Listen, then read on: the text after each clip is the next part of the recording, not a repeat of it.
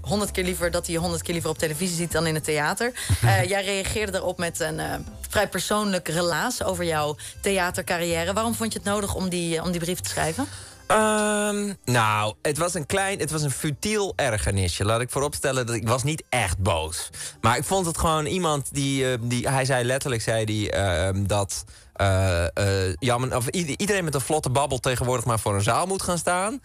Zoals die Arjen Lubach, die vind ik vast op televisie honderd keer leuker. En dat soort mensen ontneemt de zuurstof voor de toneelcultuur. Ik denk van, nou ja, je kan van alles vinden, maar ik ik ben niet zomaar van de een op de andere dag gematerialiseerd, zoals ik ook schreef, in de gangkast bij de VPRO. Ik heb echt tien jaar lang allemaal kleine zaaltjes gehad. Dus ik was gewoon een beetje niet echt pissig. Maar ik dacht, nou, ik schrijf gewoon een vriendelijk briefje terug om het even recht te zetten. En, ik, en ik dacht ook niet dat hij kwade zin had hoor. Want hij, heeft, hij, hij wist dat gewoon niet of zo. Dus dat is prima. En nee, hij, hij wist niet en hij zegt ook uh, uh, vast dus hij heeft het ook niet eens gezien. Nee, precies. Hij zegt dat ik vind het vermoedelijk, vermoedelijk honderd keer beter op televisie. Ik denk, ja, nou ja, dan heb je het dus inderdaad niet gezien. Nee, dus dan weet, je het ook niet.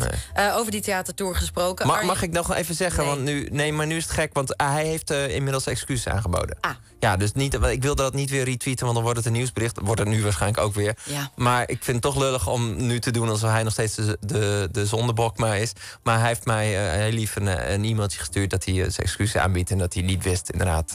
Misschien moeten jullie de volgende theatertournee samen doen. Oh ja, leuk. Arjen? Ja, met allemaal conspiracy yeah. theories. ja. Ja. ja. dat lijkt me ja. ook heel leuk. Over die theatertour gesproken. Uh, Arjen Lubach live, je eerste solo comedy show in theater. Maandag nog in een hele groot, een heel groot circus theater. Ja. Hoe was oh, dat? Ja, dat was te gek. Het was, uh, ik, ik, was verbaasd eigenlijk hoe, hoe, klein het voelde. Want ik heb ook wel... Uh, je hebt wel Lowlands of zo. Dat was denk ik daarvoor mijn grootste zaal. Dat zijn 1300 mensen of zo. En dat is dan echt, echt heel anders. Dat je gewoon een grap maakt en dat dan heel laat zo met je die lach terugkomt. Maar het circus ja, voelt nog best wel intiem. En, uh, en uh, ja, natuurlijk, er zitten belachelijk veel mensen. Maar ik, ik had me nog. Ik, had, ja, ik was eigenlijk wel ver, verrast over hoe klein het voelde. Zo. En wat kunnen we, wat, wat als mensen het nog niet gezien hebben, wat kunnen ze verwachten van Arjen Lubach in het theater? Ja, ik wil, ik, ik, wil vooral mensen gewoon uh, twee uur lang laten lachen. Dus ik heb ook wel, weet je, dat, ik, daarom noem ik het comedy. Het is een beetje ingewikkeld, omdat in Nederland heb je natuurlijk gewoon, je hebt theaterzalen, daar gaat hetzelfde publiek naartoe, daar gaan dezelfde recensenten naartoe, daar gaan de, de, de, dezelfde avonden voor dezelfde prijzen staan mensen, maar het wordt allemaal cabaret genoemd. Mm -hmm. Maar soms komt Bert Visser met een vrachtwagen vol spullen, als een soort one-man klucht. En soms komt Ronald Goedemond met een microfoon. En soms, weet je wel, en het is allemaal cabaret. En Maarten van Roosendaal werd vroeger ook cabaret genoemd, maar die maakt gewoon hele toffe liedjes. En en ik ben, ik ben, ik ben gewoon, ik wil gewoon mensen laten lachen. En dat is een persoonlijke verhaal. Dat is eigenlijk mijn hele ding. Dus ik, van televisie kennen mensen mij dat ik uh, kritiek of, of commentaar lever op nieuwsberichten. En dat zit een beetje ook wel in. Maar ik wil nu vooral gewoon mijn eigen.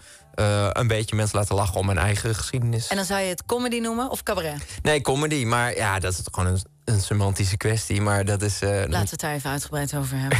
ja.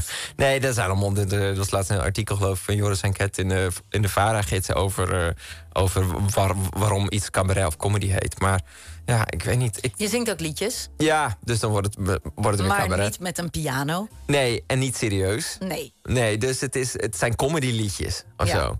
God, ja, ik weet Het is zo gek, want ik, mijn, een van mijn favoriete comedians in Amerika op dit moment is John Mulaney. En die komt bijvoorbeeld de Radio City Music Hall in. Dat zijn 5000 mensen. En die komt op en die begint met een verhaal over, ik geloof, over kindertekeningen. En dan heeft hij twintig andere anekdotes. En op een gegeven moment zegt hij, uh, thank you, good night. En er zit geen rode draad in. Er zitten geen boodschappen in echt. Er zitten geen liedjes in. En er zit...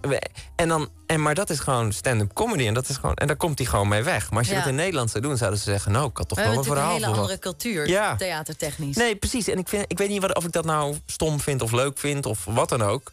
Maar ik, uh, ik, heb, ik heb wel bedacht... Um, ik, er zit nu wel een rode draad in... maar ik wil, ik wil gewoon mensen laten lachen. En, en, en dat ze misschien bepaalde emotionele of verstilde momenten missen... wat anderen wel doen, denk ik, ja, jammer. Wil je ze niet aan het denken zetten? Ook wel, maar wel door een lach, zeg maar. Niet, het is niet een... Um, het is, het is, niet de basis. Uh, uh, het is niet de drijfveer. Ik denk, ik ga niet naar het theater om mensen aan het denken te zetten. En dat is wel de drijfveer met Zondag met Lubach? Nee, ook niet. Het is gewoon de lach. En ehm, wat vinden wij zelf leuk? Wat vind ik zelf leuk? Dat zijn dan wezenlijke dingen. Dus ehm, mensen die zichzelf serieuzer nemen dan ze zijn. Of mensen die inconsequent zijn. Of, of nieuws dat zichzelf in de staart bijt. En zo. Dat, daar moet ik om lachen. Omdat het leven eigenlijk wel één Ja, maar het grote is ook grap de is. hypocrisie blootleggen. Ja. Dus het is ook een, een vorm van aan het denken zetten. Ja, maar als, als wij een, een verhaal schrijven, bijvoorbeeld bij Zondag met Lubach... eh, en het is een heel goed verhaal, maar we merken dat we er geen grap in kwijt kunnen... dan komt het niet op tv. En dat is ook in mijn theatershow. Als ik denk, nu heb ik een goede boodschap... maar ik kan er geen leuke grap aan ophangen... dan ga ik er niet op het podium staan. Dan Dus, houdt het op. dus de grap is altijd wel, prevaleert er altijd wel. Ja. The Beatles, for no one. ja.